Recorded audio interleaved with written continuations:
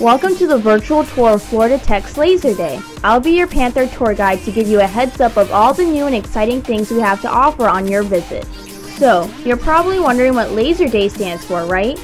Well, I can guarantee you that it's not Lemons Are So Ever Radical. In fact, that's not even close. It actually stands for Liberal Arts, Science, and Engineering Resource Day. In other words, we won't be playing around with lasers that sound like Skrillex or Spock. It's a whole day dedicated to current high school and community college students who are interested in chemistry, engineering, space sciences, marine biology, media, music, languages, computing, and so much more. There will also be a multitude of fun activities, labs, presentations, and even meet our local mad scientists. I mean, our lovely faculty.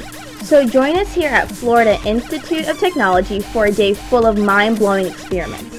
Take it from a Panther, nobody does science like we do.